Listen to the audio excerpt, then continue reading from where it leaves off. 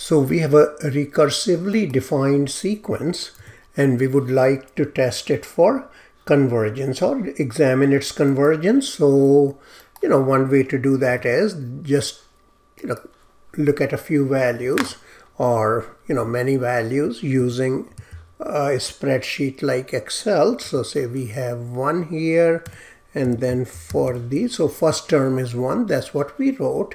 And then for the subsequent terms, we have this recursive definition. So what we have is that each term is square root of 6 plus the previous term. So here we got this and this would be the same thing. I'm using Excel. Take the previous term and add a 6 to it. And after that we may go ahead and uh, say double click right here. Okay. okay or just drag it down I think. All right. So what do you see is that you see that uh, this sequence uh, I mean if we just go further down I mean this is enough. So this suggests that uh, it's going to converge to 3 pretty fast. And you will also notice that the sequence is an increasing sequence. That is the values are increasing right and also it appears to be no more than 3 or the sequence is bounded by the number 3. So what we notice overall is this that an is uh, less than 3. Let's keep less than 3 and see where we get with this for all natural numbers n. Sorry, natural numbers n and also we are going to attempt that. An plus 1 is greater than an for every n. All right and so same thing for all n. That is it's a it's a monotonically increasing sequence. So first let's look at this statement and we are going to just use uh, deductive argument here so how we can, you know, one principle we can use is the mathematical induction. That is, you can notice that A1, if you remember A1 is given to be 1, that already is less than 3. And uh, let's assume this to be true. Okay, so take as true and then what we will do is that we will examine an plus 1 whether it's true for an plus 1 as well. So what we have is an plus 1 if you recall the definition it's a square root of an plus uh, sorry rather an or a sub n plus 6 now a sub n that is less than 3 so this will become how much square root of 3 plus 6 which is a 9 so that is 3 so what you find here is this that a n plus 1 is going to be less than 3 as well right? And so therefore mathematical induction gives us that uh, that an is less than 3 for every n, right? Now, when we go for the other statement, uh, even last where it is, okay, yes, this is the one that an plus 1 has to, you know, whether that is greater than an for all n. So, you know, say I tried different methods and what eventually worked for me was this. That is uh, you know one way is that we want to just show that this is greater than how much? Zero right? So let us examine the quantity. So we have uh, this and this equals how much? If we put the value of uh, an plus 1 in terms of an what we get is this uh, plus 6 minus an okay? Uh, now one way is uh, or one way to work on this is this. Let's just go ahead and uh, say rationalize it all right?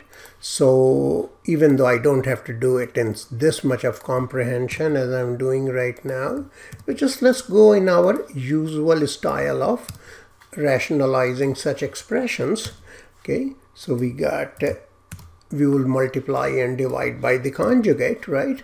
And they're positive numbers. So what we got now is, let me increase the font size here. So what we have now is this, that, uh, okay, I don't have to go that fast. So let's go just uh, patiently. So this quantity is going to become uh, what? Simply, I got a you know, difference of two expressions times the sum of the same two expressions. So what we will have is, we will have that product as, if you FOIL it, then, you know, the, the product terms cancel, and then this is what? Simply an square, right? Okay, so this is if we further simplify it, uh, what we get is, you know, these square and square root, they will undo each other.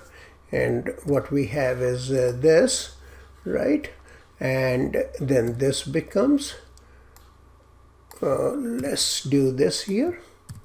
That is, uh, uh, let's just move this an over to the right of 6 just for the sake of uh, convenience all right? So here we go. Now we can examine this and you may have a shorter way of doing that okay? So this is 6 plus a n or rather a sub n times 1 minus sorry times uh, yes 1 minus a n or I can do this factor a negative sign out. So that will become how much? A n minus 1 right? Okay. So what we get here if you look at a n times a n minus 1 then a n is less than 3 and here also a n is less than 3 so this is 3 times 3 minus 1 so that is 6 so what we have is this quantity is less than 6. So if this quantity is less than 6, then this quantity overall, which is this one, or which is this numerator, that will be greater than 0 as well. So what we got then is, so we got that this quantity is greater than 0. Consequently, as we had, uh, this is greater than or equal to 0 and that's what we wanted to see. Okay that this quantity is greater than or equal to 0 I think I'm unnecessarily rewriting myself.